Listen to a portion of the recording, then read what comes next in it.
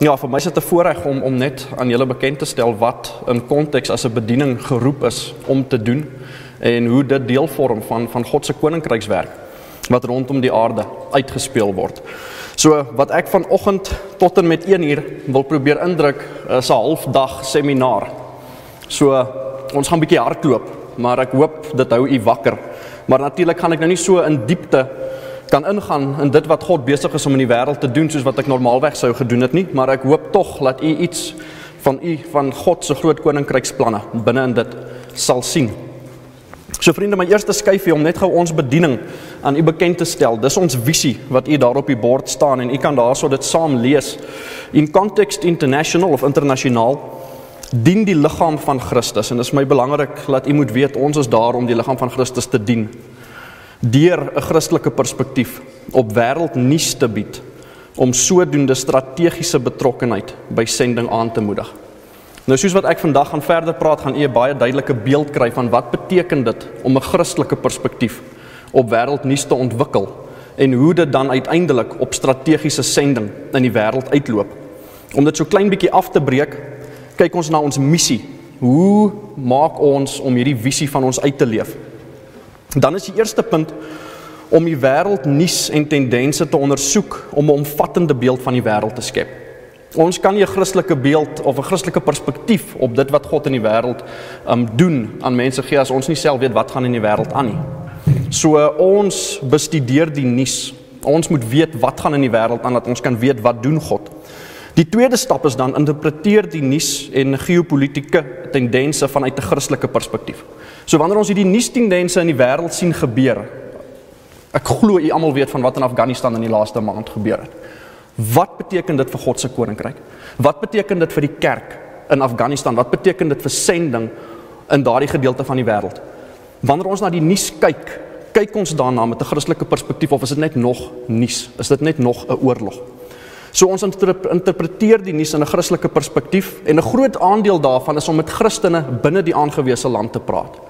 As ons na van Afghanistan verwys om met die pastore in Afghanistan te praat en sê wat moet die kerk weet? Wat moet die liggaam van Christus weet van wat tans in Afghanistan aan gebeur is? Hoe moet ons bid vir die kerk in Afghanistan? Laat dit nie net nog 'n nuusgebeurtenis is nie. Maar laat ons kan bewus wees daarvan ons is deel van die liggaam van Christus en as dit ons broer in Afghanistan raak dan raak dit my. En wat doen ek daaroor? Die derde punt is ons lig die kerk deur middel van verskillende aanlyn bronne en aanbiedings in oor hierdie Christelike perspektief. 'n Geleentheid soos hierdie wat ek het om vandag met u te deel. Wat is die realiteit van dit wat homself in Afghanistan op die oomblik uitspeel? Wat is die impak van COVID-19 op die kerk en op sending? Wat is die impak van COVID-19 op God se koninkryk? Hoe gebruik hy dit ter uitbreiding van sy koninkryk? En dan die laaste punt, betrek die kerk deur gebed en projekte in strategiese nasies en streke. Wanneer ons sien wat God reg voor ons oë tans besig is om in die wêreld te doen, dan kan ons nie anderster as om te sê as God hierdie geleenthede oor die kerk se pad bring, hoe kan ons sit en slaap en dit nie raak sien en daarvan gebruik maak nie? As die Here vir ons deure oopmaak in Sirië, soos nog nooit vantevore om die oes in te bring in Sirië, in Libanon, in Afghanistan nie. Hoe kan die kerk dan sê nee, ek gaan nie betrokke raak nie? Daar was nog nie weer so geleentheid gewees nie, daar gaan miskien nooit weer een wees nie raak ons betrokke by dit wat God besig is om te doen in die wêreld. Dit is in kort die visie en die missie van in konteks internasionaal. Maar vriende, ons kan nie dit doen wat ons doen sonder 'n Bybelse fondasie nie. Is daar skriftelik vir ons genoeg van 'n fondasie om te sê maar dit maak vir ons sin as Christene dat daar 'n bediening soos in konteks moet wees om in samewerking met die kerk God se koninkryksplanne tot uitvoering te bring. En ek wil graag met u deur 'n paar skrifgedeeltes werk. En ek sal eerder 'n hele uur en 'n half op skrif spandeer as om in die res van die nuus in te gaan, want as ons as ons nie die skrif as fondasie het nie, dan is in elk geval dit wat ons mee besig is nutteloos. En daarom is dit dan vir ons belangrik om te begin by 'n skrifgedeelte wat daar nou al 'n paar keer vandag genoem is. Natuurlik Matteus 28 vers 19 tot 20. En ek lees dit graag weer vir u voor. Gaan dan na al die nasies. Kan ons gaan dan na al die nasies toe en maak die mense my disippels. Ons het uitgebrei op wat dit is om 'n disipel te wees. Daai 12 mans aan wie die opdrag gegee is, moes uitgegaan het om nog 12 disippels te maak. En daai nog en nog totdat al die nasies uiteindelik bereik word. Doop hulle in die naam van die Vader en die Seun en die Heilige Gees en leer hulle om alles te onderhou wat ek julle beveel het. En onthou, ek is by julle al die dae tot die volëinding van die wêreld. Vriende vir my persoonlik is dit krities belangrik om te erken dat God het 'n liefde vir die nasies gehad van die begin af. Mense kan baie maklik verward raak en dink aanvanklik was God se hart net vir Israel gewees en die nasies is eers later bygekom. Maar God se hart was van die begin af vir die nasies. Toe hy vir Adam en Eva geskep het, en op daai stadium die hele wêreldpopulasie wat daarvan af sou uitgespruit het, nog in Adam en Eva vasgevang was. Het hy deur aan Adam en Eva 'n persoonlike van aangesig tot aangesig verhouding te staan, het hy op daai stadium in verhouding gestaan met elke liewe nasie, nasie volk en taal wat nog sou kom. En sy hartsbegeerte is om weer daai punt te bereik om weer so met elke nasie, volk en taal van aangesig tot aangesig te loop soos wat hy in die tuin van Eden met Adam en Eva geloop het. En ons sien hierso in Genesis 22 vers 18 wat daar op die bord is. Nadat Abraham suksesvol suksesvol gehoorsaam was, soos wat Dominee Daniel ook, die die belangrikheid van gehoorsaamheid. En die Here hom net betyds gestop het so voor hy vir Isak moes offer, dan sê hy vir Abraham in jou nageslag sal al die nasies van die aarde geseën wees want jy het my gehoorsaam. Reeds in Genesis 22 weerspieël God sy hart vir al die nasies. En vriende, dan kan ons deur die Ou Testament werk alhoewel dit grootliks deur Israel, die nasie van Israel oorheers word. Telke male word God se hart vir al die nasies na vore gebring. Hier sou sommer net een voorbeeld in Psalm 22 vers 28 tot 29. Mense oor die hele wêreld sal die hele Here erken. Mense oor die hele wêreld sal die hele Here erken en hulle tot hom bekeer. Alle volke sal hom as koning erken. Want die koningskap behoort aan die Here. Hy heers oor die volke. 'n Volgende ene, Daniël 7 vers 14 waar daar alreeds in Daniël verwys word na Jesus wat sal kom, dan staan daar aan die menslike wese is die heerskappy en eer en koningskap gegee sodat al die volke, nasies en taalgroepe hom sou dien. Sy heerskappy is 'n ewige heerskappy. Dit sal nie tot nul gaan nie, sy koningskap sal nie ophou nie. Vriende, dan beweeg ons in die Nuwe Testament in. Vir my 'n vers wat wat sleutel staan binne ons opdrag wat ons in Matteus 28 gekry het om na die nasies te gaan. Ons het al vandag 'n paar keer na Matteus 24 verwys. Jesus sit saam met sy disippels op die Olyfberg en hulle vra vir hom, "Wat is die tekens van die eindtye?" En Jesus begin praat van die oorlog, die gerugte van oorlog, koninkryke wat sal in opstand kom teen ander koninkryke. Hy praat van aardbewings, hy praat van droogtes, van hongersnood. Hy praat van vervolging wat gaan toeneem. En dan in vers 14, dan sê hy en hierdie evangelie van die koninkryk sal in die hele wêreld verkondig word sodat al die nasies die getuienis kan hoor. Eers dan sal die einde kom. Vriende, voordat elke nasie nie die voorreg gehad het om die evangelie te hoor nie, kan ons nie 'n wederkoms verwag nie. Ons het 'n opdrag gekry. God wil hê dat elke nasie, volk en taal die evangelie moet hoor en eers dan kom hy terug. Openbaring 7 vers 9. Die blye versekering dat dit sal gebeur. Die Here Jesus voer vir Johannes weg na die toekoms. En dan sê Johannes hierdie volgende woorde: Hierna het ek 'n groot menigte gesien wat niemand kon tel nie. Hulle was van elke nasie, stam, volk en taal en het voor die troon en voor die lam gestaan. Hulle het wit klere aangetree en daar was palmtakke in hulle hande. So vriende of of jy as individu deelneem hieraan of nie, dit sal volbring word. God sal sorg dat dit volbring word. Hy sê dit vir ons in Openbaring. Hy wys dit vir Johannes. Dit sal volbring word. En dis ons keuse of ons aan hierdie proses van disippelskap maak in die res van die wêreld deelneem En of ons net 'n disipel bly wat 'n disipel bly daar waar hy sit en nie deel van deel maak om ander te gaan maak nie. Maar vriende, daar's so 'n ander ding vir ons wonder wonderlik opgesluit in profesie. Soos die profesie in Daniël wat ek vir u gelees het, soos die profesie wat hier vir ons geopenbaar word. En dit is dat God ken die tye. God weet reeds wat gaan gebeur. God weet reeds wanneer dit gaan gebeur. God weet presies wanneer elke nasie, volk en taal tot hom gaan keer en daai die Engels is remnant vanuit daai stam, volk en taal in verhouding met hom gaan kom staan. En die Bybel is vol daarvan. Maar weer eens lig ek graag vir u 'n paar skrifgedeeltes uit net as voorbeeld.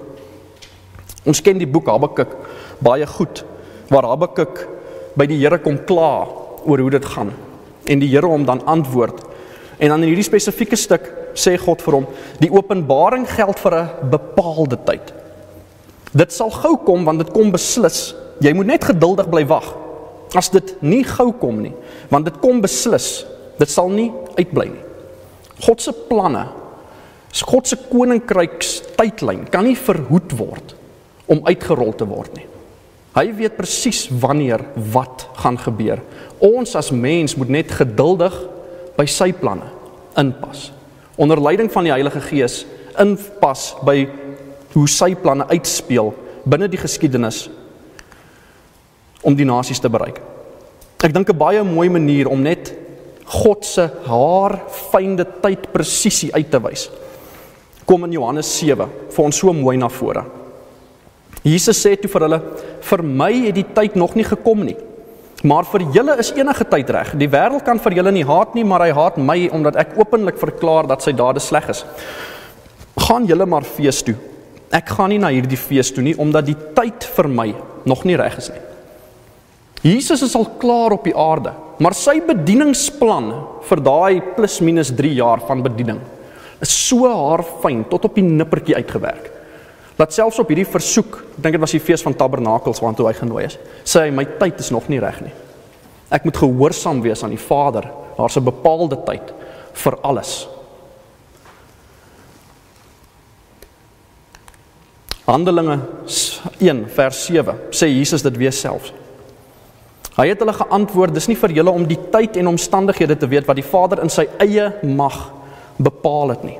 Hoeveel duideliker kan dit vir ons gesê word dat God ken die tye. Hy het 'n tydlyn waar volgens alles hardloop. Dan in Efesiërs 1 um 9 tot 10 sê hy ek het kragtens sy bes, ek hy het kragtens sy besluit en voorneme die geheimenis van sy wil aan ons bekend gemaak en dit deur Christus tot uitvoering gebring op die tyd wat hy daarvoor bepaal het. Sy bedoeling was om alles wat in die hemel en alles wat op die aarde is onder een hoof te verenig, naamlik onder Christus. Het eel daaroor gedink? Hoekom het hoekom is Christus gebore wanneer hy gebore is? Hoekom nie 500 jaar vroeër nie? Hoekom nie 10 jaar later nie? God het 'n tydlyn waarbinne alles uitspeel. Alles is haarfyn uitgewerk. En hoekom is dit vir ons belangrik? Ek gaan daarby kom. My laaste skyfie oor God se tydlyn. Hierso word dit so mooi uiteengesit. Uit een mens het hy al die nasies gemaak. Hy het hulle gemaak om oor die hele aarde te woon. Hy het bepaal hoe lank hulle sal bestaan en waar hulle sal woon. God bepaal dit. Hoe lank hulle sal bestaan, waar hulle sal woon. God het hulle gemaak om hom te soek. Al sou hulle ook moes rondtas om hom te vind. Maar vriende, hoekom is dit vir ons belangrik om te weet dat God hierdie tydlyn het? Want hy gee dit nie vir ons verniet nie. Selfs wanneer Jesus die eindtyd profeseë gee in Matteus 24 in Lukas 21 en Markus 13, dan sê hy vir ons: "Sien, ek vertel julle hierdie goed voor die tyd." Hy sê dit doelbewus vir ons, laat ons daarvan moet weet. Hy is in beheer. Hy weet wat gaan kom. Hy weet wat hy vir sy kerk beplan. Ons sien dit so mooi. 1 Kronieke 12 vers 32. Al die stamme van Israel kom om Dawid koning te maak. En dan kom daar 'n stam, die stam van As Asaskar, die Asaskar stam. En daar word gesê dit was mense wat die tekens van die tye verstaan het en geweet het wat Israel te doen staan. Omdat hulle die tye verstaan het. het hulle geweet wat Israel te doen staan. 200 van hulle hoofmanne en al hulle stamgenote onder hulle bevel. Tot 'n sekere mate vind dit baie goed aanklank by Dominee Daniel se se beeld van soos wat die tye verander. Die evangelie verander nooit nie. Dit is standvastig. Maar hoe ons dit oordra, soos die tye verander, pas ons daarby by. As jy nie die tye verstaan nie, dan gaan jy nie weet wat om te doen nie. En my laaste een, die noodsaaklikheid om die tye te verstaan. Lukas 12 vers 54 tot 56. Jesus het ook vir die skare gesê as julle 'n wolk in die weste sien opkom, sê julle dadelik dit gaan reën. En dit gebeur ook. En as die suidewind waai, sê julle dit gaan warm word en dit word warm. Hygelaars, julle weet hoe om die voorkoms van die aarde en die lig te beoordeel. Hoe is dit dat julle nie weet hoe om hierdie tyd te beoordeel nie? Sou dit waar van ons gewees het as die Here Jesus vandag hier gestaan het, dat hy vir ons gesê het ons kan die weer voorspel. Maar verstaan ons die tyd waarbinne ons leef? Al hierdie profeseë wat die Bybel van vol is. Verstaan ons die tye waarbinne ons osself bevind? Verstaan ons wat ons aan die nuus kyk wat God besig is om in die wêreld te doen? Of het ons ons Christelike lewe wat Sondag gevul word en dan die res wat daar rondom speel en dit wat in die res van die wêreld gebeur het absoluut niks met ons Christelike lewe te doen nie. En eintlik het dit alles daarmee te doen. So vriende, vir ons as in konteks ons wil die kerk dien om in die kerk hande te vat en te sê ons weet nie alles nie. Ons is definitief nie soos die stam van die Saskar wat vir laat, laat ek vanoggend hier na u toe kan kom en vir u kan sê ek weet wat u moet doen nie. Maar ek weet as ek hande vat met u dan saam as ons die Here se wil soek, as ons saam die skrif bestudeer, as ons saam na die nuus kyk en kyk wat in die wêreld gebeur, dan gaan ons 'n baie beter prentjie hê van wat ons te doen staan as ons weet waarmee God besig is. Die vraag is is ons bereid om dit te doen? Is ons bereid om blindelings met ons lewens aan te gaan of is ons bereid om ons oë oop te maak vir 'n nuwe perspektief? 'n Christelike perspektief, 'n koninkryksperspektief op dit wat God in die wêreld doen. En ek wil so klein bietjie iets daarvan vir u probeer oopbreek vandag. Wanneer ons so 'n seminar aanbied, is dit vir ons belangrik binne daai eerste punt van ons missie, sê ons ons bestudeer die wêreld. Wat gaan in die wêreld aan? Hoe lyk die wêreld vandag? Om net so 'n klein bietjie van 'n grondslag te lê. En ek wil so vinnig met u deur 'n paar vrae hardloop wat dit aanbetref. So as ons vandag na die wêreld wil kyk, waar binne God konstant besig is om die nasies, die volke, die tale te bereik met die evangelie sodat sy wederkoms kan plaasvind. Hy wil ook hê dit moet so vinnig as moontlik gebeur. Dan moet ons weet wat is ons speelveld? Ons ken dalk ons ons ons gemeente, ons gemeenskap wat ons al vandag op gefokus baie goed. Maar soos wat Dominee Daniel ook uitgelig het, daai opdrag is gegee Jerusalem, Judea, Samaria tot aan die uithoeke van die aarde. Hoe goed ken ons ons speelveld waarbinne ons uitgaan om disippels te maak? So sommer net 'n paar vinnige vrae om dit interessant te maak. Uh hoeveel mense is daar op aarde plus minus? Kan ek 'n uh, sommer so 'n raai kry? 9 biljoen. Nou sê ons ons ons daarso is die getalletjie wat ek op 16 September, dis toe ek laaste keer aan hierdie PowerPoint gewerk het, getrek het uh teen wat's dit 21 minute voor 3 Suid-Afrikaanse tyd. 7.8935303 en hy het nog weer 'n bietjie aangehardloop daarna. Hierdie webtuiste van Worldometers het 'n uh, eh, in Engels noem dit 'n algoritme wat geboortes, sterftes, al hierdie goed in ag neem om uh, so na as moontlik hierdie tipe van statistieke te gee. So uh, wat's dit 7.8 um, miljard um, mense in die wêreld. Dit is ons sendingveld. Dit is wie ons moet bereik. Al die nasies, volke en tale word opverdeel in hierdie groep mense. So die vraag is kom ons kyk net na nasies of lande kan ons ook sê. Daai 7.8 um, miljard mense, hoe is hulle opverdeel en hoeveel lande bly hulle? As ons wil net so klein bietjie wil opbreek. Een raaiskoot, twee raaiskote. Hoeveel lande is daar in die wêreld? Ek sal vir u die antwoord gee. 195. Dit verskil egter afhangende van wiese statistiek jy gebruik, want daar is sekere lande wat nie deur alle lande erken word as selfstandige lande nie. Jy kry sekere gebiede wat ander mense sê nee, jy's eintlik deel van Marokko, jy's eintlik nie 'n land op jou eie nie. Hong Kong is eintlik deel van China, jy's nie eintlik 'n land op jou eie nie. So, die Verenigde Nasies werk op 195 lande. Dis die lande wat ons het om binne ons sending um, en disipelskap missie uit te leef. Hoe is die mense binne in hierdie lande versprei? As ons nou daai 195 moet indeel in die 7.8 miljard, waar bly al die mense? Um 'n maklike ene. In watter land gaan ons die meeste mense aantref? China. So, China grootste populasie in die wêreld. In China alleen, die enigste is 'n een land uit die 195 bevat 18.5% van die hele wêreldpopulasie. Dan Indië 17.7% En dan die derde grootste is die Verenigde State, Amerika, Noord-Amerika. Maar net vir interessantheid, kyk na die verskil tussen Indië en die Verenigde State. Bykans 1 miljard mense. So ek dink nie vir ons wat in Suid-Afrika bly wat ek dink ons is hier naby die 60 miljoen mense word ons tans op beraam. Binne 'n populasie van 60 miljoen, hoe kan ons enigsins in ons wildste drome 'n populasie van 1.4 miljard eers indink nie? In een land vasgevang nie. En dis nie 'n Christenland nie. Volgende vraag. Wat is die geloofsverdeling onder die mense? Dominee Leon het uh die antwoord gegee van plus minus hoeveel Christene daar in die wêreld is binne daai 7.8 miljard. So uh, wie glo wat? Hoeveel van daai 7.8 miljard is Christen? Hoeveel is nie? Uh, die wat nie is nie, wat glo hulle? Wat is die tweede grootste geloof? Wat is die grootste geloof? Wat is die derde grootste geloof?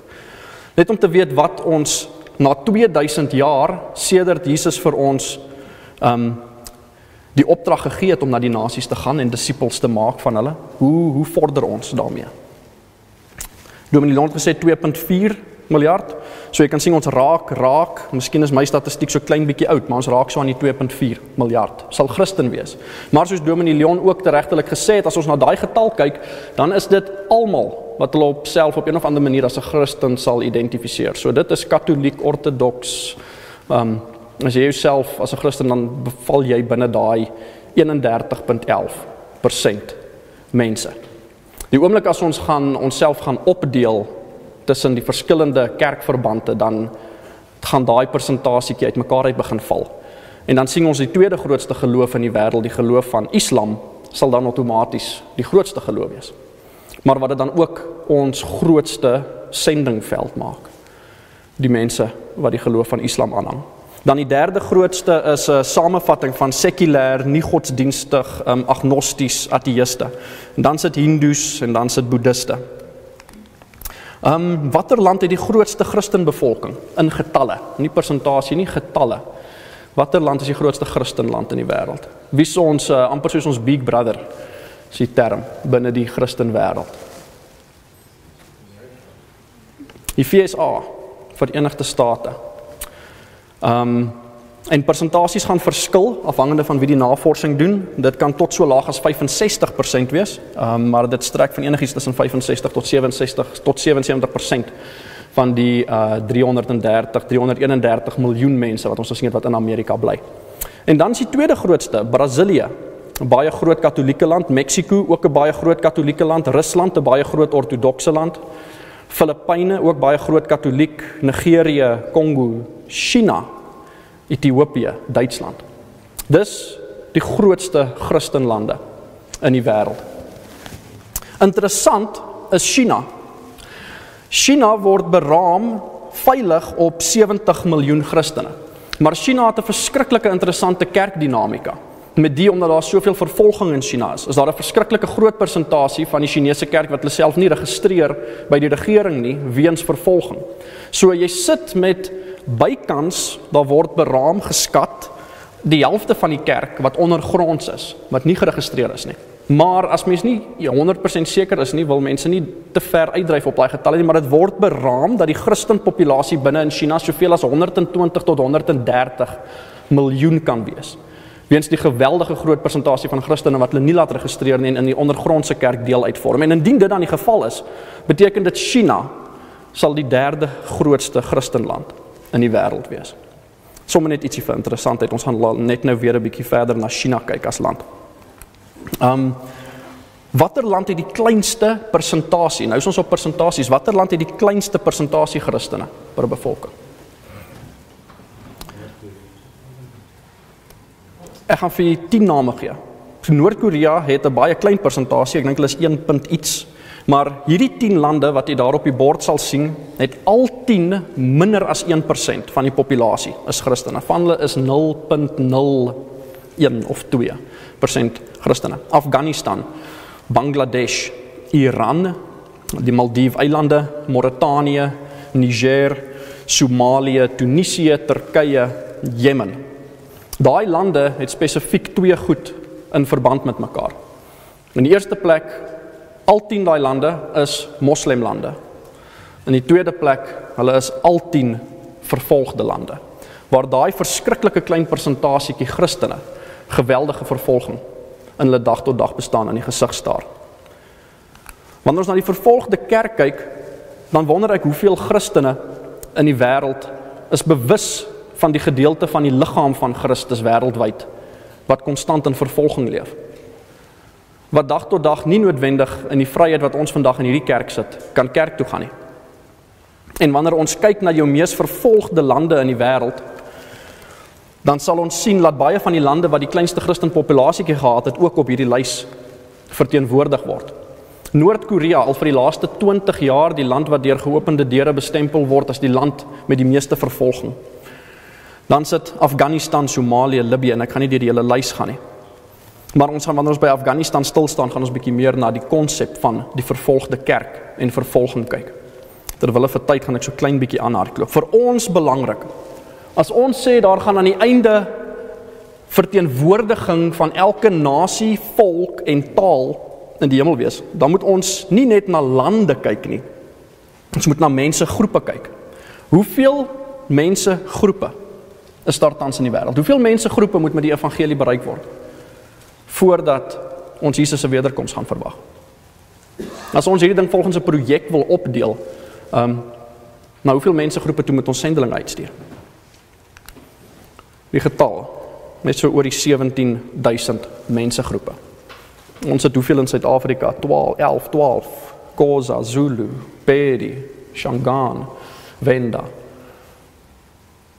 So in die wêreld kyk ons na 17406 mensegroepe wat met die evangelie bereik moet word. Hoe maak ons daai vordering as ons nie net kyk na die um 31% mense wat reeds Christen is nie, maar as ons na mensegroepe daarna kyk, dan sien ons daar word beraam dat nog 7402 mensegroepe wat plus minus 42% van die wêreldpopulasie uitmaak, word nog beskou as onbereik. So Ons het nog werk om te doen as liggaam van Christus. Maar ek glo in my hart dat net soos wat die Here vir ons sê dat in die eindtye kan vergelyk word met geboortepyne. Laat die intensiteit van die rampe, die oorloë, die aardbewings, die hongersnode gaan toeneem glo ek dat die bereik hoe ons die nasies gaan bereik gaan teen daai selfde tempo hardloop. Laat ons dit miskien lank gevat, 2000 jaar gevat om daai 58% te bereik. Maar dit gaan nie nog 2000 jaar neem, glo ek in my hart om daai volgende 42% te bereik nie. Nie met moderne tegnologie, met vliegtye, met die internet. Hoe maklik dit vir mense is om te beweeg en vir mense om inligting bekom nie glo ek dit gaan vinniger gaan. Vriende, dit is net om vir u 'n prentjie te skets van wat in die wêreld is. My laaste skyfie is daar watter lande het die meeste onbereikte groepe en dan sien u vir Indië daarso bo wat by verre, by uitstek kan beskou word as by term van mensegroepe as die mees onbereikte land in die wêreld. Ek beweeg aan In my opening het ek gesê ons as bediening kyk na wêreldgebeure wat op die nuus gewys word. En binne in dit kyk ons wat doen God in die wêreld om die nasies te bereik, om mensegroepe te bereik en hoe moet die kerk daarbey inskakel. So ek wil baie vinnig met u deur 'n paar punte hardloop rondom hoe gebruik ons die media? Hoe gebruik ons internasionale nuus om te sien wat God besig is om in die wêreld te doen en hoe die kerk daarvan deel uit kan maak? So in die eerste plek, wanneer ons hierdie aanbiedings doen by kerke en by Bybelstudiegroepe, ons as 'n kerk vir my sê ek gee vir jou 5 minute voor die erediens, dan vat ek daai 5 minute en ek probeer soveel as moontlik in daai 5 minute indruk. Maar as ek maak nie saak wat die geleentheid is nie, as ek oor hierdie um aspek praat, dan sê mense, baie mense sê vir my ek kyk nie meer nuus nie. Dit is net moord en doodslag, dis oorloë, dit is natuurrampe, dit is optogte, dit maak my kwaad, dit maak my depressief, dit laat my broederlik kook. Ek kyk nie meer nuus nie. Dis net slegte nuus. So ons erken dat die nuusbedryf het sy foute vir ons as Christene. Want die realiteit is ons ontvang ons nuus vanuit 'n sekulêre nuusmedia uit. Die nuusmedia is nie daar om vir die kerk 'n Christelike perspektief op nuusmedia op die nuus te gee nie. Dis nie hulle werk nie. Dis hoekom daar 'n bediening soos ons is om daai gat te probeer vul. So ons moet erken wanneer ons van die sekulêre nuusmedia gebruik maak dat daar sekere goed is wat ons erken die realiteit is en een van hulle is dat alle media is bevooroordeel. Dit dit is bykans onmoontlik om 'n neutrale standpunt binne nuus te kry. Maak nie saak na watter nuusmedia jy luister, watter koerant jy lees. Hulle is bevooroordeel op een of ander manier. Ek bedoel ons is bevooroordeel bevooroordeel teenoor God se koninkryk en teenoor Christene. Dit is ons bevooroordeeldheid. En elke nuusmedia huis, maak nie saak of dit nou 'n koerant is of dit 'n televisiestasie is of 'n radiostasie is nie, hulle wortels lê elders. Hulle is bevooroordeel in een of ander manier. Ek dink die beste manier om dit te sien en ek gaan by die laaste punt kom is as jy die Amerikaanse politieke stelsel baie goed ken, het jy jou demokrate en jou republikeine. En jy het nuusmedia huise wat demokraties is en nuusmedia huise wat republikeine is. As jy 'n demokraat in Amerika is, dan sal jy nie Fox News kyk nie, jy sal net CNN kyk want CNN vertel vir jou die stories soos jy daarvan hou om om te hoor as 'n demokraat. As jy 'n republikein is, dan kyk jy net Fox News want hulle vertel vir jou die stories soos jy as republikein daarvan hou om daarna te kyk. Jy sal nie CNN kyk nie. En dis waar, vir die wêreld heen. In Suid-Afrika het ons met dieselfde ding te doen. Dit hang af na watter jy kan mos nou maar deur die kanale gaan of jy SABC kyk of ETV kyk, hulle rapporteer dieselfde storie nie, maar hulle sit klem op verskillende goeters. So ons erken dat almal is bevooroordeel. In die tweede plek sê ons tyd is beperk. Het jy al gedink aan 'n nuusbulletin? Daai halfuur, as jy gelukkig is dan kry jy 'n uurbulletin. As jy as jy nie Suid-Afrikaanse bulletin is, jy sit 'n internasionale bulletin. Nou probeer daai mense vir jou binne 'n halfuur alles vertel wat in die wêreld gebeur het. In 195 lande het hierdie goed in die laaste 24 uur in die wêreld gebeur. Jy weet nie alles nie. Tyd is beperk. Daar is net soveel tyd, dan's daar nog sport en advertensies ook tussenin. So meeste van die goed wat in die wêreld gebeur, weet jy nie van nie. Jy kan nie net een nuusstasie volg of een koerant koop en dink nou nou weet jy wat gaan in die wêreld aan nie. Nuus is streeksgebonde. As jy in Suid-Afrika nuus kyk, dan kyk jy die grootste gedeelte 80% is Suid-Afrikaanse nuus as jy gelukkig is, is daar 1 1 en 'n half minuut internasionale nuus. Hulle hardloop hom sommer so aan 1 paar sekondes op 'n nuus storie dan volgens daai nuusstasie in Suid-Afrika weet jy nou alles wat nodig is om te weet van dit wat in die wêreld gebeur het. So nuus is streeksgebonde, selfs internasionale nuus is streeksgebonde. Nuus is geldgedrewe. Dit moet geld maak. Deel daarvan dat 'n nuuskoerant, TV-stasie moet geld maak, is laat dit op sensasie gedryf is. Want sensasie verkoop koerante. Sensasie laat mense inteken. En die laaste een, dis polities gedrewe. Die voorbeeld wat ek al reeds genoem het van in byvoorbeeld in Amerika. So ons erken al hierdie goed. Maar die een manier hoe jy al hierdie aspekte kan probeer oorbrug is om nie net van een nuusmedia huis gebruik te maak nie, maar om van soveel as moontlik gebruik te maak. So as ek sê ons bestudeer die wêreld en wat gaan aan in die wêreld, dan sê ek vir die ons gebruik nuusmedia van reg oor die wêreld. En party is radio's, party is TV, party is koerante. Maar ons weet ons het soveel gate as ons regtig wil weet wat in die wêreld aan die gang is en wat God regtig in die wêreld doen dat ons ons navorsing moet doen uit verskillende oorde heen om seker te maak ons weet wat gaan aan in die wêreld. Dan die volgende stap is hoe kry ons nou dat ons weet wat gaan in die wêreld aan? Hoe kry ons ons Christelike perspektief? Nou hier's 'n paar praktiese vrae wat jy vir jouself kan afvra wanneer jy die nuus kyk. As jy die volgende keer 'n internasionale nuusbulletin sien en daar sou 'n oorlog aan die gang of daar sou 'n aardbewing of 'n vloed gewees, dan is hierdie 'n paar punte wat jy vir jouself na vore kan roep. Die realiteit is God is aan die werk in die storie. Ons het gesien God ken die tydlyn. God staan nie as 'n toeskouer op die wêreld en wag dat die kerk die werk doen nie. Nee, in Matteus 28, wat is die heel laaste gedeelte in vers 20 en ek is met julle tot die volëinding. Dis hoekom hy vir ons die Heilige Gees gegee het. God is nie 'n toeskouer soos wat ons die nasies bereik nie.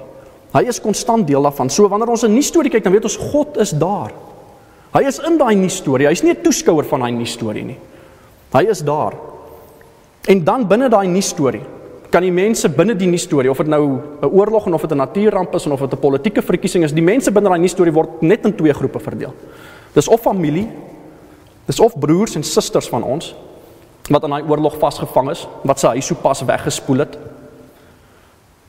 Of dit is mense wat nie vir Jesus ken nie, wat nog deel is van ons sendingveld.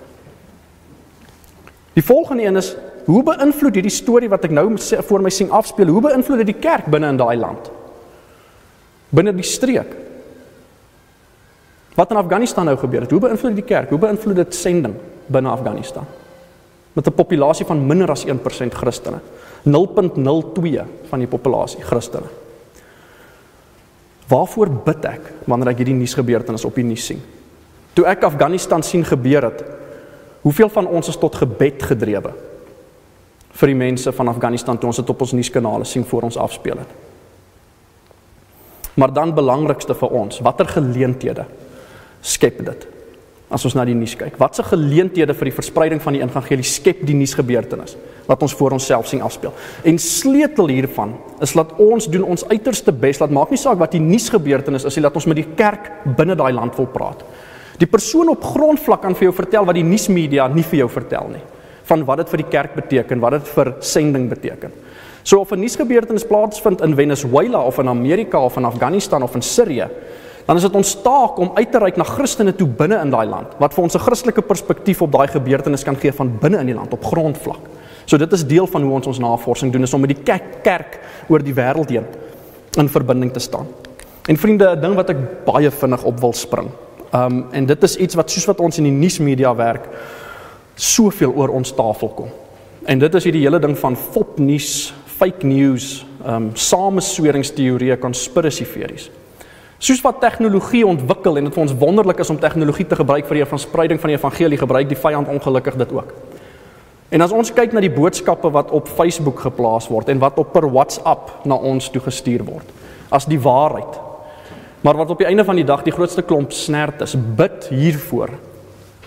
En in die realiteit is daar glad nie so iets gebeur nie.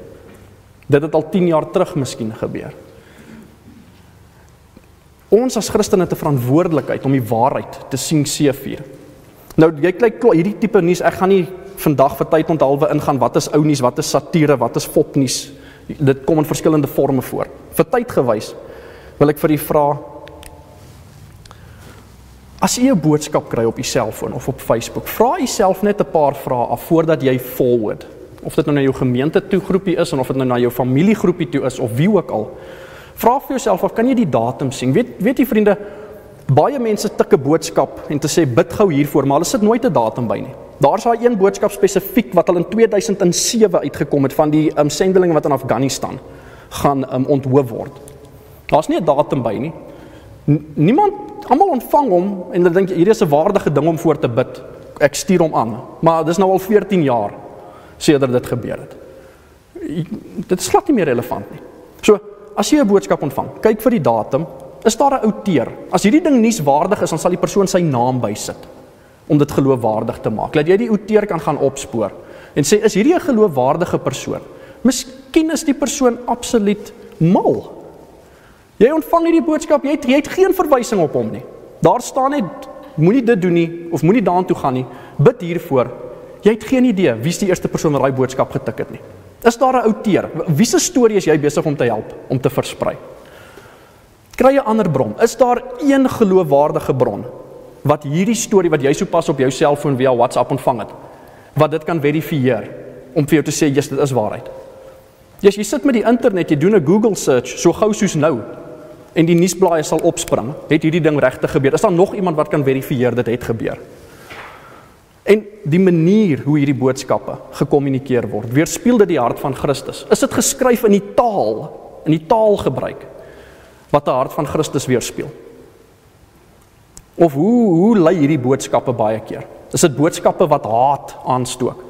Is dit boodskappe wat vrees in mense inblaas? Weerspieël die boodskap wat jy nou gaan aanstuur na jou familie en vriende toe, weerspieël daai boodskap in sy taalgebruik die hart van Christus.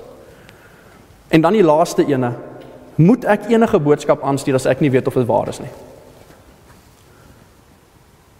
Is ek bereid om vir my vriende en my familie en vir my gemeentelede 'n klomp leuns aan te stuur en te laat glo? As ek nie kan gestaan doen en sê ek weet hierdie is waar, dit is relevant, my familie en my vriende moet dit weet nie. Dit is ding wat ons uit die aard van ons werk baie mee te doen kry en dit is ook 'n diens wat ons begin vervul het dat as mense hierdie tipe boodskappe kry, dat hulle dit vir ons kan aanstuur dat ons dit kan navors en kan terugkom en sê dis waar, stuur dit aan asseblief of nee, dis ou nuus, moet dit nie aanstuur nie of nee, dit is totaal leuns, moet dit nie aanstuur nie. Maar ons almal word hierdeur geraak. Ek kan nie dink dat een persoon wat vandag hier so sit nog nie deur sulke boodskappe geraak is en die gevaar geloop het om 'n klomp leuns die wêreld in te stuur nie. Wanneer ons as Christene eintlik veronderstel is om vir die waarheid te staan nie. So ekskuus, dit is 'n ding wat binne ons bediening na vore gekom het toe die bediening begin is, het ons nie gedink dat dit is die tipe werk wat ons mee te doen gaan kry nie.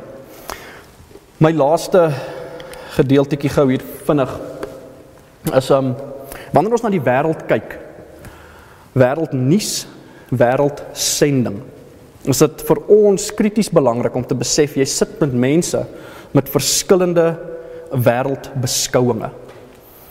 Nou ons werk op hierdie drie hoofbeginsels van jy kry mense wat sit met 'n skuld gebaseerde wêreldbeskouing, mense wat sit met 'n vrees gebaseerde wêreldbeskouing en mense wat sit met 'n skande gebaseerde gebaseerde wêreldbeskouing. En dit is interessant as jy gaan kyk na die storie in Genesis waar Adam en Eva van die vrug eet, dan is hierdie die drie gevolge wat plaasgevind het die oomblik toe hulle die vrug geëet het van die boom in die middel van die tuin. Hulle het skuldig gevoel, hulle het onmiddellik geweet hulle het iets verkeerd gedoen. Hulle het bang geword vir God. Hulle het vrees ervaar en hulle het skaam gekry. En ons sien dat hierdie drie gebeurtenisse is opgesluit in alle mense in die wêreld, maar een van hulle oorheers jou. Vir mense vanuit 'n westerse agtergrond soos wat ons vandag hierso is, ons is hoofsaaklik gedomeineer deur 'n skuldgebaseerde wêreldbeskouing. Ons meet ons besluite op aan reg of verkeerd. As ek dit doen, gaan ek skuldig wees of gaan ek onskuldig wees? Gaan ek reg wees of gaan ek verkeerd wees? Dit is die wêreldbeskouing waarbinne ons leef. Ons meet alles aan reg en verkeerd. Is ons skuldig of nie skuldig nie? Vreesgebaseerd vind jy in jou Afrika stamme en in sommige stamme in Suid-Amerika en in Asië. Vrees word vasgevang in daai gedeelte van God gaan my straf. En vir in Afrika sien ons dit so duidelik in die voorvader aanbidding. Laat ons moet die voorvaders gelukkig hou. As ek nie 'n werk het nie, dan sit omdat die voorvader geeste gemaak het dat ek nie 'n werk kry nie. Ek het hulle ongelukkig gemaak. So alles word uit vrees uit. Ek moet gelukkig, ek moet die voorvader geeste en afhangende van of dit nou Asië en of dit Suid-Amerika is, is daar verskillende gode wat aanbid word, maar dit is gewortel, jou besluite word gewortel vanuit 'n plek van vrees. Ek moet die heeltyd sorg laat die voorvaders of die ander gode gelukkig is. En dan skande. As ons praat van Islam as ons grootste sendinggebied, dan is is dan is die skande gebaseerde wêreldbeskouing vir ons krities belangrik. Want die Midde-Ooste wat oorheersend moslem is vanuit die Islam geloof, werk vanuit 'n skande gebaseerde wêreldbeskouing. So wanneer ons nuus kyk en ons sien goed gebeur in die Midde-Ooste, ons sien goed gebeur in Afrika en dit maak glad nie vir ons sin nie. Dan is dit omdat die mense wat daai besluite gemaak het, dit nie dieselfde wêreldbeskouing as jy nie. Hulle maak nie hulle besluite op reg en verkeerd nie. Hulle maak hulle besluite op eer en skande of uit vrees uit. So as ons sê ek verstaan nie die mense in China nie, ek verstaan nie die mense in in in um in die Midde-Ooste nie. Dan moet jy vir jouself sê dis omdat hulle ander wêreldbeskouing as ek het. En net so verstaan hulle vir jou nie. Want hulle verstaan nie die hele ding rondom om skuldig te voel nie. 'n Goeie vinnige voorbeeld rondom skande gebaseerde wêreldbeskouing. Um as jy kyk binne die moslem geloof, as jy dit streng fundamentalisties navolg, dan die oomblik as jy Islam verlaat vir enige ander geloof, dan moet jy doodgemaak word. Hoekom? As gevolg van die skande wat jy oor jou familie gebring het. Die enigste manier hoe daai familie sy eer binne die samelewing, binne die gemeenskap kan volbring en weer terugbring na wat dit was voor jy die geloof van Islam verlaat het, is om te wys dat jou familie die geloof van Islam vir Allah liewer het as daai familielid, daai boetie of sussie van jou. En jy doen dit deur daai boetie of sussie van jou wat nou 'n Christen geword het te gaan doodmaak. Dan sien die gemeenskap nee, jy jy is nog eerwaardig. Jy neem daai skande van jou af weg. Vir ons is moord reg of verkeerd. Jy jy mag nie iemand doodmaak nie. Dis 'n reg en verkeerd besluit. Vir hulle is dit eer en skande. Nee, as dit eer tot jou toe bring, dan kan jy iemand doodmaak. So, net ek kan nie vandag in diepte daarop ingaan nie maar iets om van bewus te wees. Kom ons kyk na een wêreldgebeurtenis en die koninkryks impak daarvan.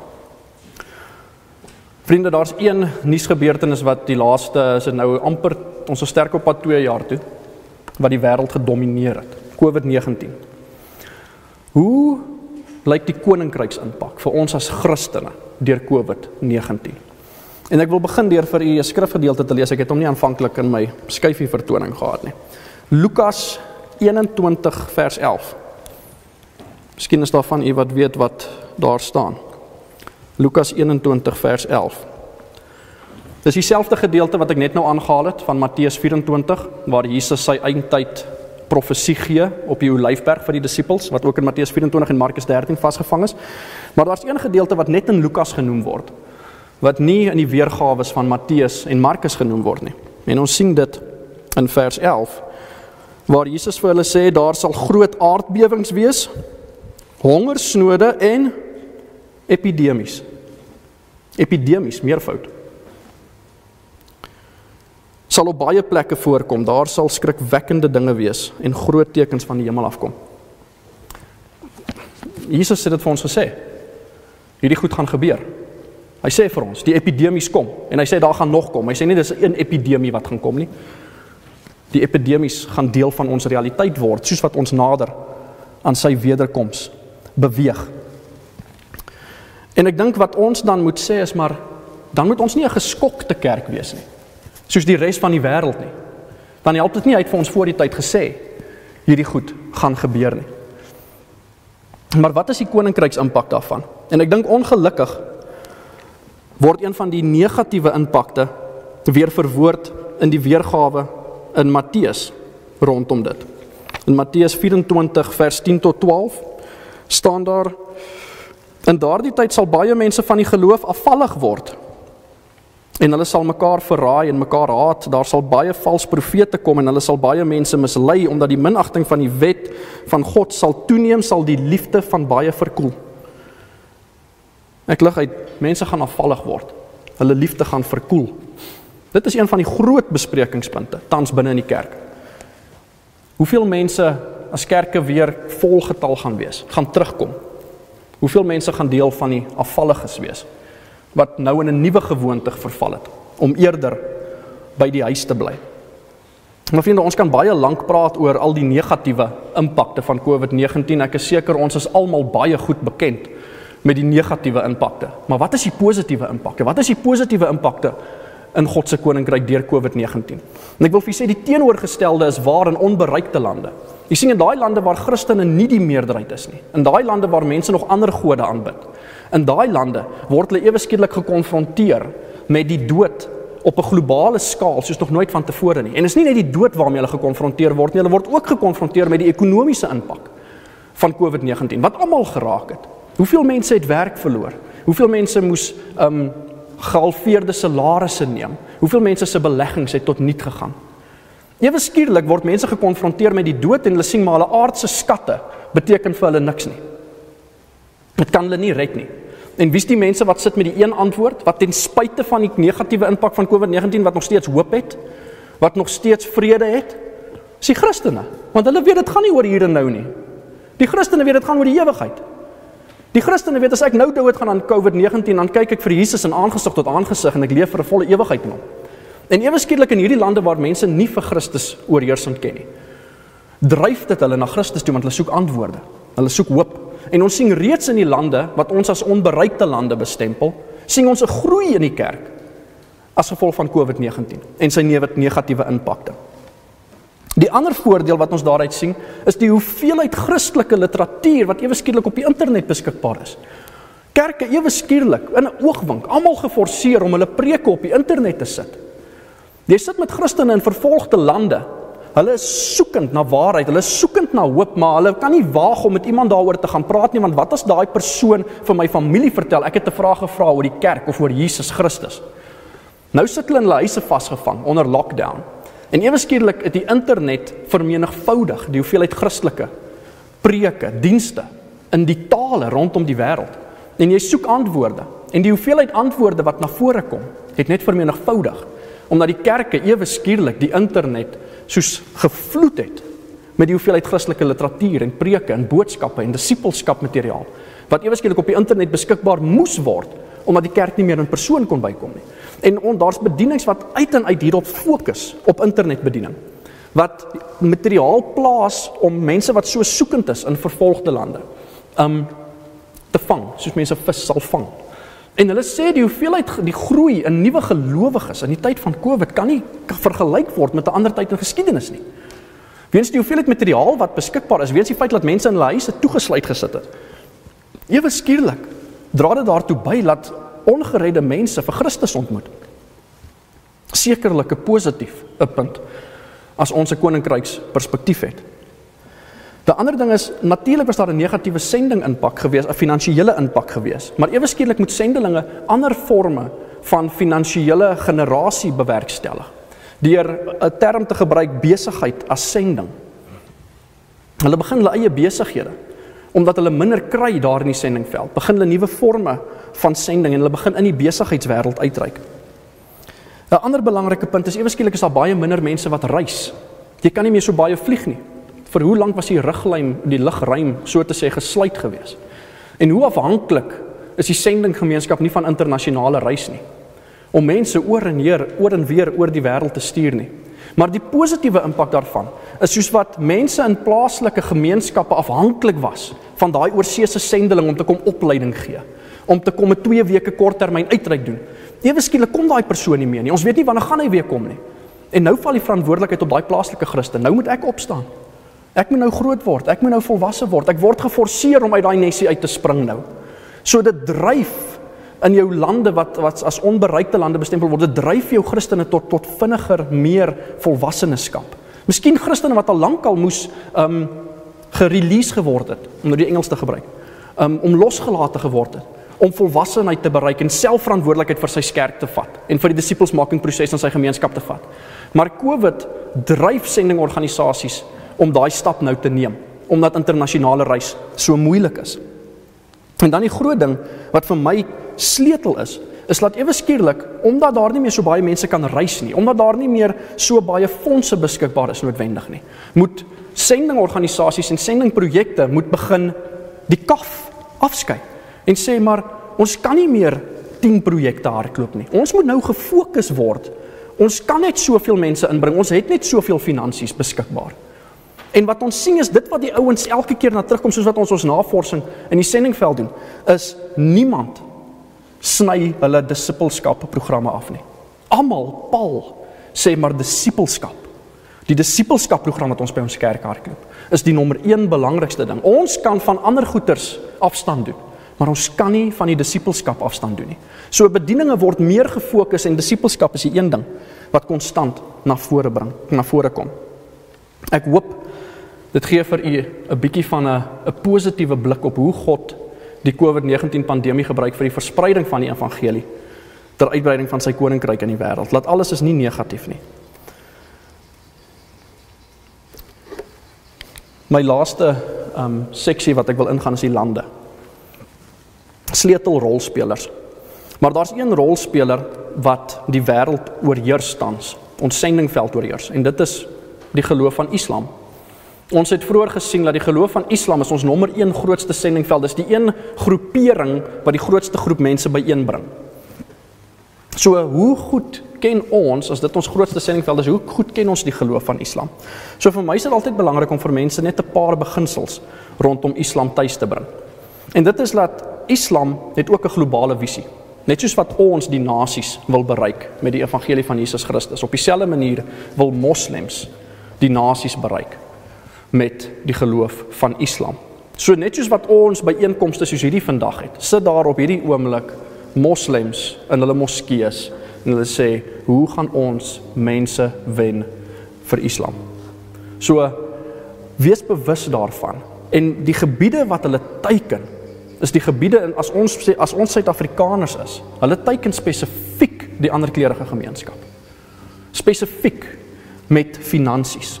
Hulle sit 'n moslem skool op in die plakkerskamp en hulle sê stuur jou kind na die na, na die um madrasse toe, na die moslem skool toe. Ons gee vir hom akkommodasie daar, ons gee vir hom kos daar en ons gee vir hom skool, maar te gelykertyd sal ons Islam as geloof ook aan hom verkondig. As jy in 'n shanty bly in die plakkerskamp en jy het nie kos vir jou kind nie en jy dink, "Ja, hier kom hierdie nice mense. Hulle gaan vir my kind kos gee, skool gee, opleiding gee." Ek weet nie noodwendig eers wat Islam is nie, maar hoe sleg kan dit wees as hy gaan skoolopvoeding en kos kry? Dis wat in ons plakkerskampe gebeur. Deur Islam se sendingaktiwiteite om dit so te noem. Wat doen ons as kerk? Ek bedoel dit is vir my wonderlik om Dominee Leonle se uitreikaksies van te hoor. Maar hoeveel kerke doen dit? Hoeveel mense in ons eie land wat as 'n Christenland bestempel word, word gewen vir 'n afgodsgeloof soos Islam? Terwyl hier bykans 80% van ons populasie sê dat ons Christen is. Net iets om van bewus te wees. Net nog 'n ding. Islam is verdeel in twee. Baie min mense met wie ek gesels in 'n geval weet dit jy kry Sunni moslems en jy kry Shia moslems. Die verdeling het te werke gekom die oomblik toe die profeet Mohammed wat Islam tot stand gebring het gesterf het. Toe het jy mense gehad wat gesê het nee, die volgende leier van die geloof van Islam moet 'n afstammeling van Mohammed wees. Dit moet in die bloedlyn van Mohammed bly. En die ander groep het gesê nee, dis nie nodig nie. Dit kan net 'n persoon wees wat goed genoeg 'n leier is, wat goed genoeg geskool is in die geloof van Islam.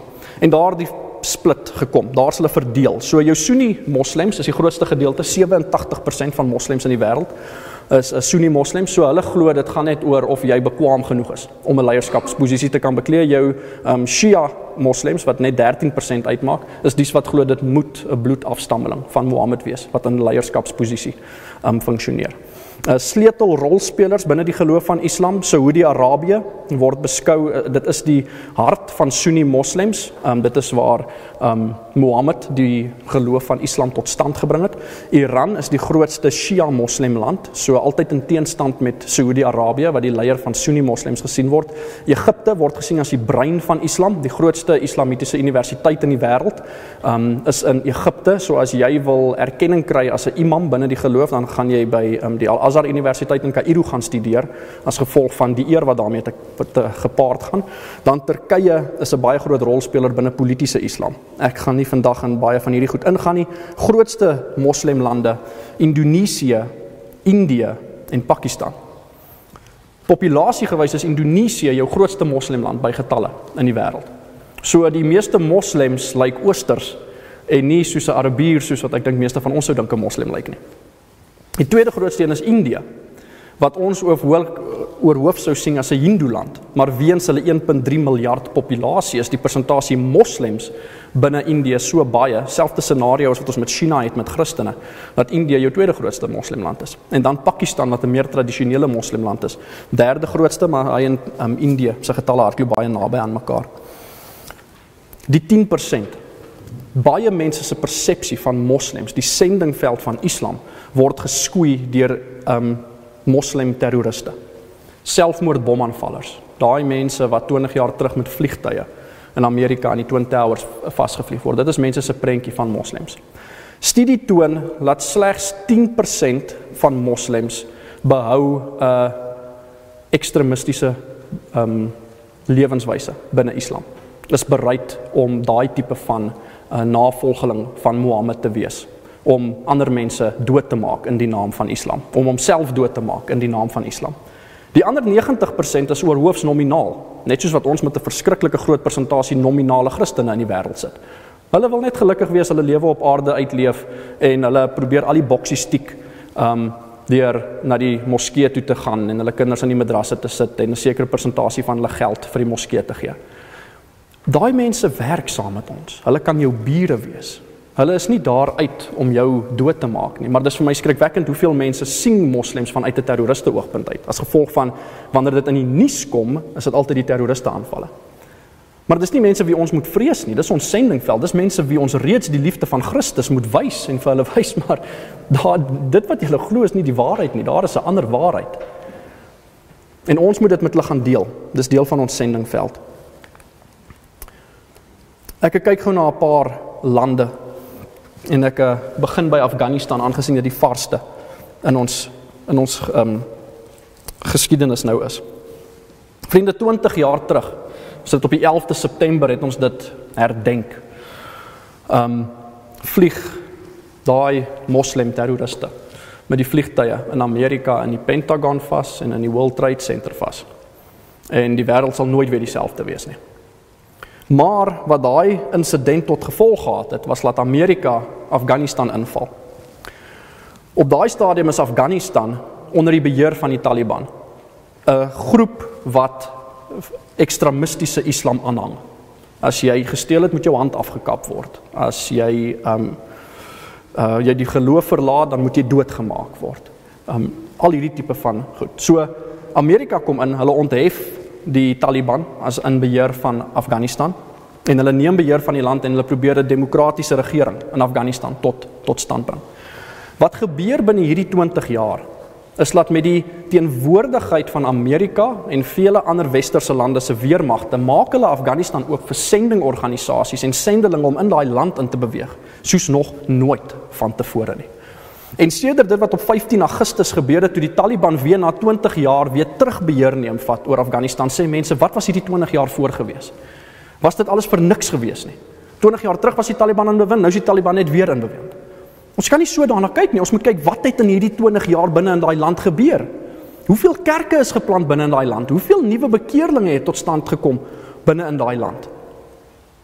Die kerk het eksponensieel gegroei binne in daai land.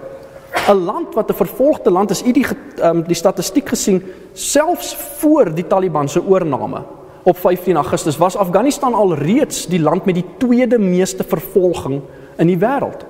So dis nie dat die kerk in Afghanistan nie vervolging ken nie. Hulle ken vervolging. Daar is nie eers 'n kerk gebou in Afghanistan nie. Jy kan nie 'n kerk soos hier in Afghanistan kry nie. Want as jy daar inloop, dan weet almal jy's 'n Christen en jy sal vervolg word omdat jy by daai kerkgebou ingeloop het en jouself geïdentifiseer het as 'n Christen. Jou totale kerk, daai 0.02, dit is hier tussen die 12 15000 geskat. Want weer eens, dis 'n ondergrondse kerk, selfs in China. Kom in sitkamers bymekaar, in mekaar se huise bymekaar, want dit is te gevaarlik om 'n kerkgebou te moet oprig en jouself te identifiseer openlik as 'n Christen. So as dit by vervolging kom, die konsep van vervolging, moet ons vir onsself sê, ja, vervolging gaan toeneem nou onder die Taliban. Dit is verseker. Dit gaan nog erger word. Al is hulle al klaar die land wat die tweede meeste vervolging ervaar, gaan dit nog steeds toeneem. Maar dan moet ons ook vir onsself sê, die die Bybel is is vol van vervolging. Jesus is doodgemaak. En hy sê ons moet hom navolg. Ons moet ons kruis opneem en hom volg. En ek kan vir u geweldig baie skrifgedeeltes rondom vervolging lees, maar ek sal net enetjie vir u lees. Um Waar so is hy 2 Timoteus. 2 Timoteus 3 vers 12. Lees ek graag vir u. Almal wat in Christus Jesus toegewy aan God wil lewe, sal ook vervolg word. Petrus sê op 'n ander gedeelte, moenie verbaas wees wanneer die vervolging kom nie vervolging is deel van om Christus te wees. So as ons vervolging in Afghanistan sien plaasvind, uh, ons is nie veronderstel om verbaas te wees nie. Weereens God het gesê dit gaan kom en in Matteus 24 en Lukas 21 sê hy dit gaan vermeerder soos wat ons nader kom. So as ons sien daar's 'n toename van vervolging in die wêreld. As ons sien daar's 'n toename van vervolging in Afghanistan, weer eens is dit net skrif wat tot vervulling kom. Hy het gesê dit gaan gebeur. Hier gebeur dit. Maar vriende, dan moet ons sê in hierdie 20 jaar het God nie daai 20 jaar gemors nie. Hy het 'n sterk kerk opgerig in getalle en in volwassenheid om staande te bly onder hierdie nuwe seisoen van vervolging. En ja, sommige Christene het gevlug en dit is ook goed so. Ons sien in die Nuwe Testament hoeveel keer het Christene gevolg gevlug. Ons sien dit in Handelinge 8 Die oomblik toe die vervolging in Jerusalem uitbreek, het die mense gevlug en die evangelie saam met hulle geneem. Die pastoor wat ons spesifiek as bediening ondersteun, ondersteun in Afghanistan, hy het gevlug. Maar hulle word nou oral gehervestig in Afghaanse gemeenskappe. Ewe skielik in 'n land soos Amerika waar daar geen vervolging is nie. So nou kan hy in daai Afghaanse gemeenskap waar hy gevestig word saam met die 99% ander Afghane wat nie vir Christus ken nie, kan hy baie meer vrylik die evangelie deel as wat hy dit ooit in Afghanistan kon doen. So selfs dies wat vlug sal God gebruik vir die verspreiding van die evangelie. Hulle vat dit saam met hulle. En daai mense wat saam met hulle vlug wat nie vir God kon nie, kom in lande waar daar nie die vervolging in die gesig gestaar sal word as hulle miskien vir Jesus aanneem nie. Maar dan die wat bly. Hoe kyk ons na die wat agterbly in Afghanistan? Ons sien in die skrif dat party mense word daarvan verwag om 'n martelaar dood te sterf. Spesifiek in um Handelinge 12 vers 2 word Jakobus doodgemaak. En dan 'n paar verse verder dan word Petrus vrygelaat in 'n wonderwerk. Jakobus word doodgemaak, Petrus word vrygelaat. Ons kan dit nie verstaan nie. Ons weet nie hoe besluit God wie sterf 'n martelaar se dood soos sy seun Jesus Christus en wie het die geleentheid om langer te leef nie. Maar selfs dies wat 'n martelaar dood sterf, se getuienis omdat hulle bereid was om te sterf vir hulle geloof in Jesus Christus, dra 'n getuienis uit vir die mense wat hulle geken het. En dis wat aanhou leef, hou aan om die evangelie, die organisasies met wie ons saamwerk in Afghanistan, sê die kerke gaan voort met hulle Bybelstudies. Die kerke gaan voort met hulle disippelskapprogramme. Hulle het nie opgehou weens hierdie nuwe toe um um toevlug van um uh toesak van van vervolging nie. Hulle gaan aan. Die een ou het met my gedeel hoe hulle spesifiek um van hulle kerkgemeentes uitgereik het na die Taliban toe. Gesê het ons is hier om te bly. Want God het ons hier geplaas. Hier's 99% van die mense in hierdie land van bykans 40 miljoen het nog nie evangelie nodig. As ek hard weghardloop, wie gaan die evangelie met die mense deel hierso? Ons het 'n prys om te betaal. Dis hoekom ons nie moet bang wees om te sterf nie. Dis hoekom Jesus sê, die kenmerk van iemand wat sy disipel wil word, moet bereid wees om sy kruis op te neem. Moet bereid wees om sy lewe af te lê om ander disippels te maak. En dit is die die beeld wat Afghanistan vir ons tans wys. En hy wys dit vir die hele wêreld op ons televisieskerms vir bykans 'n maand lank word ons daarmee gewys. Soos nooit vantevore word ons weer gekonfronteer met die vervolgde kerk nie. Ek dink daar's baie Christene wat vir eerste keer in hulle lewe bewus geword het van die vervolgde kerk weens dit wat nou in Afghanistan gebeur het. Kan u dink hoeveel gebed is gegenereer in hierdie tyd vir Afghanistan en vir die mense in Afghanistan? Gebede wat nooit sou gebid geword het vir die kerk en vir die ongereddes in Afghanistan as dit nie vir hierdie gebeure was nie. God gebruik dit ter uitbreiding van sy koninkryk. Dan die 10%. Die Taliban is dalk deel van die 10% en hulle moes deur geweld die land afvat. Want as daar 'n verkiesing moes gewees het, sou die mense hulle nie gekies het om die land te lei nie, want die 90% wil nie onder daai tipe regering leef nie. So jy sit met net so 'n groot plop, gedeelte van die populasie wat ontnigter is oor die gebeurtenisse in Afghanistan. Ewe skielik alle hoop verloor. Hulle hoop was in die weste gewees wat die land kom bevry het. Hulle hoop was in hulle ekonomiese welstand gewees wat alles in duie gestort het. Die banke het in duie gestort die oomblik toe die Taliban weer beheer vat van die land. Sanksies ewe skielik onmiddellik weer geïmplementeer. Waar gaan soek daai mense nou hoop? Al die hoop wat hulle gehad het, word van hulle weggeneem en wat neem dit van hulle weg? hulle eie geloof. Die geloof van Islam wat tot in sy fynste letter toegepas word, neem al hulle hoop weg. Maar oor 20 jaar het God 'n kerk gebou wat hoop kan gee. Inderwaarheid dryf die Taliban, jou nominale moslems in Afghanistan, dryf die Taliban daai mense na Christus toe. En die Here het in 20 jaar se tyd 'n kerk opgebou wat dan gereed is om daai mense op te vang en ware hoop met hulle te deel. Die oes wat ons gaan sien inkom, wil ek vir u sê, glo ek gaan groter wees onder Taliban beheer as die oes wat ons gesien inkom het gedurende die 20 jaar terwyl Amerika aan bewind was. God sal dit nie net laat tot nul gaan nie. Hy het 'n kerk gebou reeds daarvoor. Terselfdertyd sien ons 'n skommeling binne die sendingveld. Ewe skielik is dit nie meer veilig vir westerse sendelinge in Afghanistan nie. Hulle klim op die vliegtuie en hulle vlieg weg. Maar wie gaan nou die plaaslike kerk ondersteun? Miskien is daar baie van hulle wat volwasse genoeg is om self staande te bly. Maar daar is ook baie van hulle wat nog steeds ondersteuning en opleiding nodig het. En dan sien ons God het reeds lank van tevore 'n nuwe sending nasie begin voorberei. China. Vriende, ons werk baie nou saam met Chinese sendelinge. As ons werk met 'n geskatte 120 na 130 miljoen Christene in China. Jy weet die Chinese ondergrondse kerk, net die ondergrondse kerk wat nie geregistreer is nie, het 'n 'n pledge afgelê om 100 000 sendelinge internasionaal die wêreld in te stuur. Hulle noem dit die Back to Jerusalem movement. Hulle het gesê die tyd van die Chinese kerk om op te staan en hande te vat met die res van die liggaam van Christus om die evangelie oor die wêreld te versprei is nou. Ons ondersteun tans Chinese sendelinge in Bangladesh, in Libanon, in Egipte. Hulle is oral deur Asië. Hulle is daar. En weet jy wat is die verskil tussen 'n westerling wat in Afghanistan instap as sendeling Jy hoef nie eers 'n sendeling te wees nie. As ek as westerling in Afghanistan instap, weet almal onmiddellik ek is 'n Christen. Miskien is ek nie eers 'n Christen nie, maar omdat ek hierdie velkleur het, sien hulle jou as 'n Christen en hulle hou jou dop. Want as jy na huis toe gaan, dan gaan besoek jy 10 teen 1 ander Christene en jy ontbloot hulle. As 'n Chinees nou in Afghanistan instap, word Chinese as Christene gesien? Nee. Hulle is net daar vir die besigheid. Hulle gaan 'n winkeltjie opsit. Hulle gaan die ekonomie kom bedien. En die Chinese weet dit. Hulle weet dit. Die Chinese kerk maak reeds hiervan gebruik.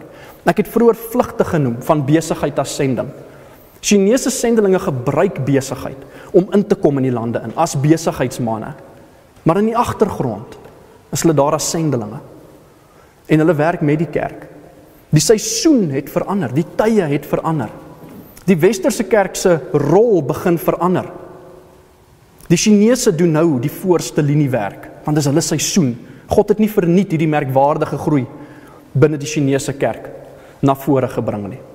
Ek kan nog lank uitbrei oor China. Ek spring gou vinnig na Sirië toe net om vir julle nog 'n paar voorbeelde te noem. Vriende, die oorlog in Sirië het die nuus geoorheers voordat COVID-19 op die nuus gekom het. Nou al meer as 10 jaar wat die oorlog in Sirië heers. Het u geweet 10% van die populasie was Christen voor daai oorlog uitgebeur het? 10%. Ons broers en ons susters wat in daai oorlog vasgevang is, wat ons dag na dag op ons televisieskerms gesien afspeel het. En hulle is nog steeds daar.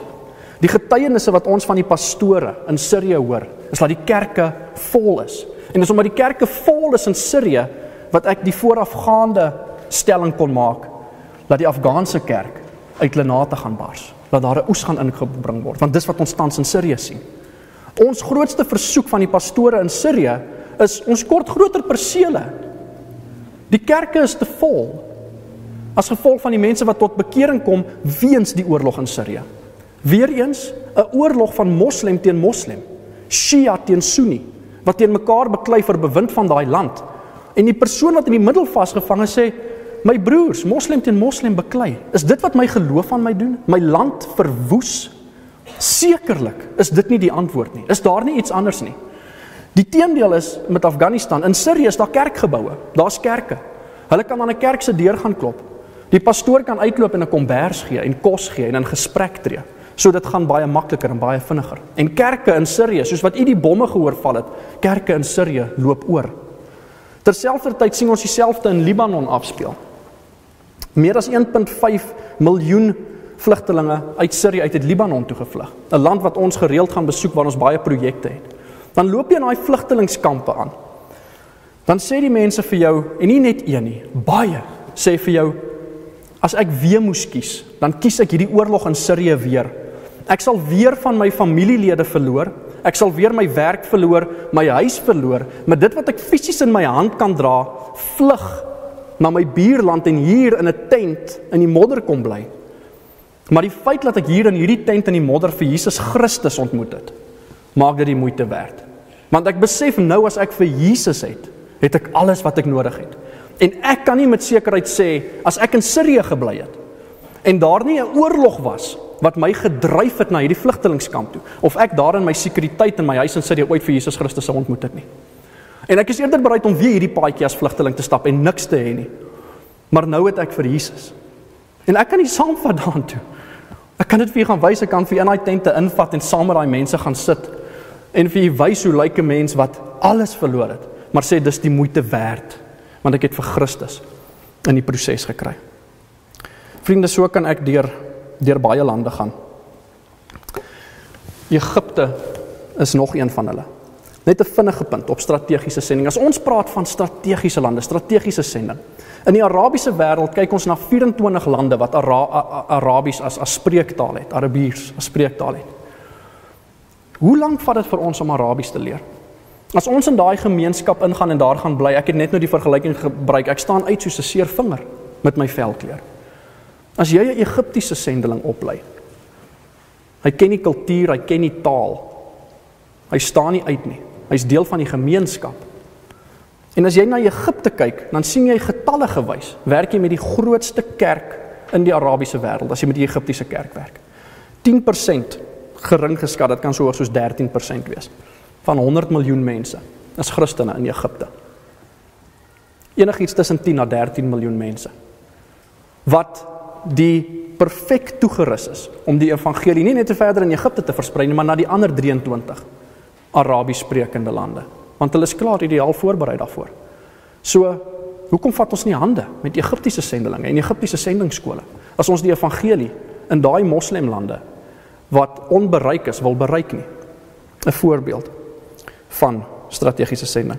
Ek hardloop net so vinnig deur um Iran, Israel, Amerika, Saudi-Arabië, Turkye. Indië het ons net nou gesien land met die meeste um onbereikte mensegroepe. Suid-Afrika. Ek wil net vinnig by Suid-Afrika stil staan voordat ek begin afsluit. Vriende, as ons na Suid-Afrika kyk, dan sien ons binne 'n Afrika konteks het die Here vir Suid-Afrika, die kerk in Suid-Afrika geseën op 'n soortgelyke manier as wat hy die kerk in Amerika geseën het. Hoeveel mense vanuit Afrika en nie net Afrika, dit selfs Asië vlug weens ekonomiese redes Suid-Afrika toe.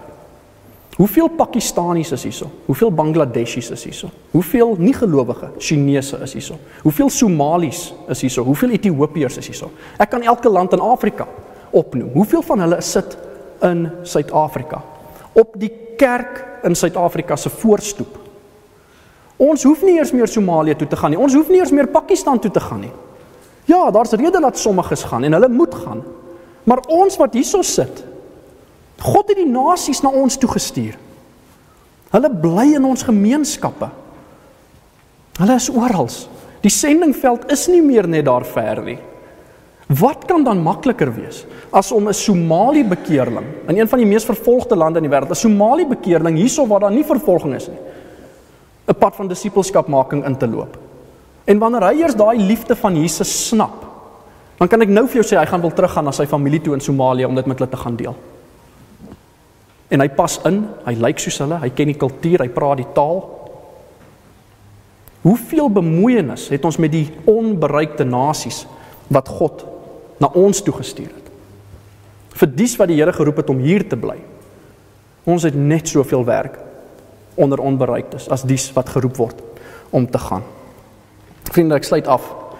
Geleenthede. Vir ons is dit God skep geleenthede. Hy staan besig om geleenthede vir die kerk te skep om hande te vat opnuut met die kerk in Afghanistan. Die kerk in Sirië wat uit lenate uitbars, het hulp nodig.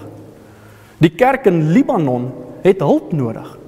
God maak die oesveld ryp deur hierdie oorloë, deur hierdie natuurrampe. Die kerk wat daar is, snap dit. Hulle sien dit. Hulle sit hand aan die ploeg en hulle begin werk, maar hulle kan dit nie alleen doen nie. Dis hoekom daar 'n liggaam is om van hierdie geleenthede gebruik te maak. En die eerste geleentheid wat ek na u toe wil uitlig, is die geleentheid van om in 'n krisis, 'n tyd van krisis op te tree. En vriende, hierdie is 'n organisasie wat ons binne in 'n konteks begin het en heeltemal apart geregistreer het as entiteit. Want ons kan sien as ons die skrif lees, as ons Matteus 24, Lukas 21, Markus 13, Openbaring lees, krisisse gaan toeneem. As jy jou Bybel lees, dit gaan nie beter word nie. Tye gaan nie beter word nie. Die skrif sê vir ons dit gaan slegter word en slegter word en Jesus sê self, dit gaan so sleg word dat as ek nie daai tyd verkort het nie, sou niemand kon staande gebly het nie. Dis hoekom daar staan daar gaan epidemies wees. COVID is nie die laaste epidemie nie. Ons sien al klaar hoeveel variante.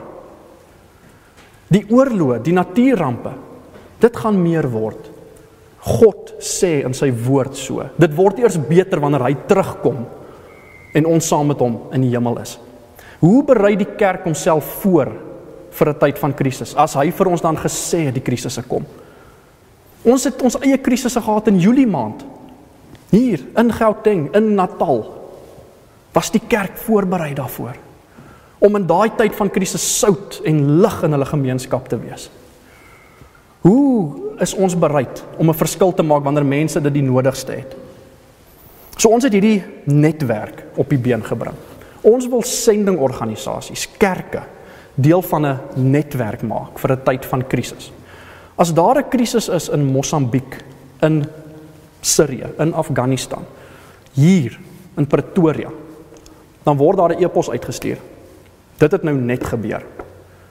Is enige iemand geskik? Het enige iemand die gawes ontvang van die Here af om 'n verskil te maak in hierdie krisis nou? En miskien sit hier 'n dokter wat voel, maar daar was nou net 'n aardbewing in Iran. Hy kan nou gaan, hy kan 'n verskil gaan maak as 'n Christen dokter in 'n onbereikte land op hierdie oomblik. Dan staan daar 'n platform. Hy kontak die die CRN kantoor en ons help daai persoon om in Iran te kom. Daar kan 10, 20, 30 crisis alerts deurkom. En 'n gemeente hoef nie by een van hulle betrokke te raak nie. Want hulle word nie gelei gevoel deur die Heilige Gees om by hulle betrokke te raak nie. Dit is nie hulle tyd om gebruik te word nie, maar hulle weet ten minste daarvan. Hulle kan bid daarvoor. Maar dan kom krisis nommer 21 en dis net hier aan die ander kant die berg. En hulle sê maar ons is hier. Nou weet ons van hierdie krisis. Ons kan 'n verskil maak.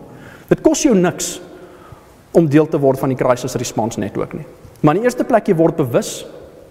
Jy kan bid en wanneer daai geleentheid na vore kom, wanneer daar miskien 'n krisis in hierdie woonbuurt gebeur, dan staan jy nie op jou eie nie, want dan gaan daai alert uit na elke netwerkpartner in hierdie land en in die wêreld wat al aangeteken het by hierdie crisis response netwerk. En ewe skielik kom staan die gemeentes op. Ons het dit reeds gesien in Natal. Ek ek is nie ek het was nie baie nou betrokke by die gebeure in Gauteng nie, maar ons was baie nou betrokke by die gebeure in Natal in Julie maand.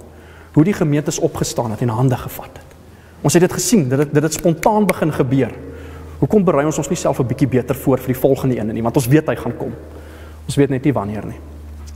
Vriende, geleenthede om 'n verskil te gaan maak. Dominee Danilo daarop uh, daarvan genoem Ons kan julle saamvat. Julle kan saam met Dominee Danilo gaan. Um hy vat self sy groepe. Ons kan dit ook doen.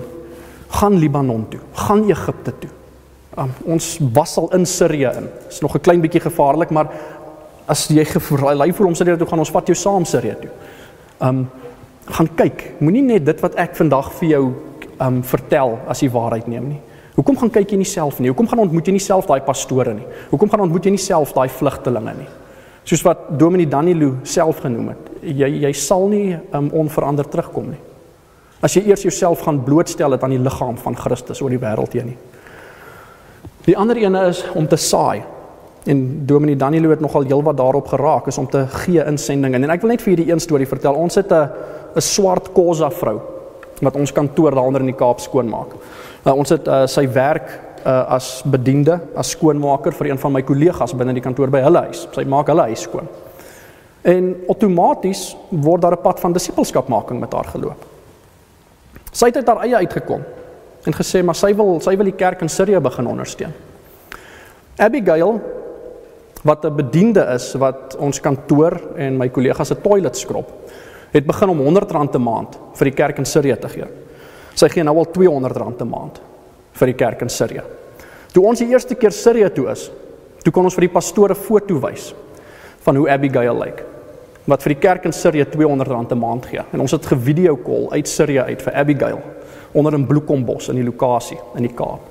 En gesê hierdie pastoor wil net dankie sê vir jou op daai stadium R100 'n maand wat jy vir hulle na hulle toe saai. Ek beklemtoon wat Dominee Daniel gesê het. Dit gaan nie oor hoeveel jy gee nie. As jy een of ander vorm van 'n inkomste het, beskik jy, jy kan R5 gee, maar jy's deel van die verspreiding van die evangelie oor die wêreld heen.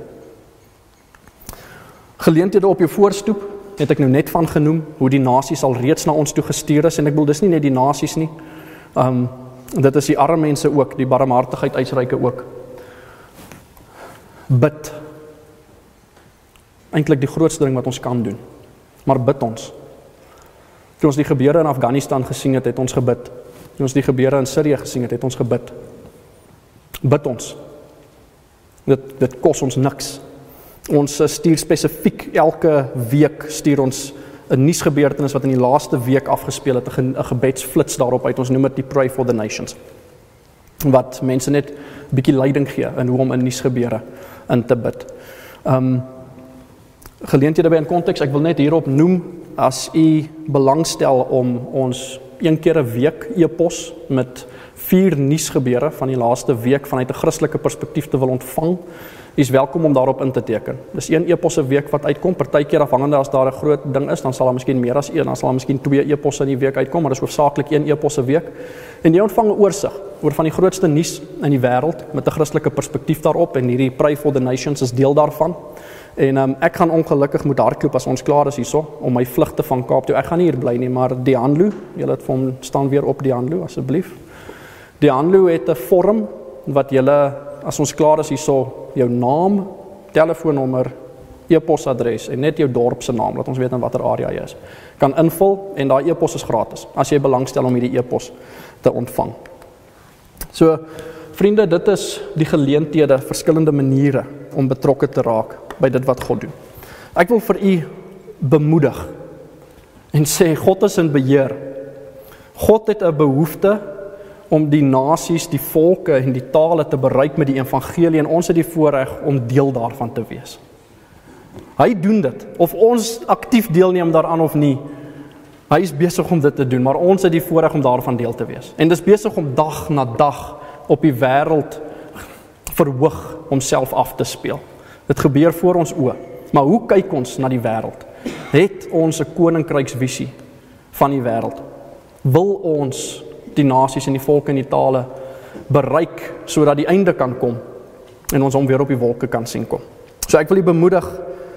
U kan positief wees. U kan hoopvol wees. Daar is hoop en ons moet dit met die mense gaan deel wat nog nie die geleentheid gehad het om dit te ontvang nie. Dominee Leon baie dankie. Ek waardeer die geleentheid. Ek sê net 'n vinnige gebed. Liewe Here, ons dankie net vir ehm um, die onverklaarbare voorreg hier om u kinders te mag wees. Here om al reeds in 'n verhouding met U te mag staan, Here. En U brand, U hart brand, weet ons, om met soveel meer mense in verhouding te staan. En ons het die voorreg om hulle aan U voor te stel. Ons het die voorreg om vir hulle te gaan vertel van U en daai nuwe verhoudings te begin om daai pad van bekendstelling, daai pad van disippelskap maak saam met mense te loop. Here ek vra dat soos wat elkeen van ons hierso in 'n persoonlike verhouding met U staan. Here mag U vir ons kom ontmoet daar waar ons is. En mag U ons kom gebruik binne ons gesin, binne ons familie, binne ons vriendekring, binne ons gemeenskap, Here. Om U hande en U voete te wees, Here. Om vir mense die hoop te bring wat net net in U te vind is, Here. Ons bid dit in U naam van Jesus Christus alleen.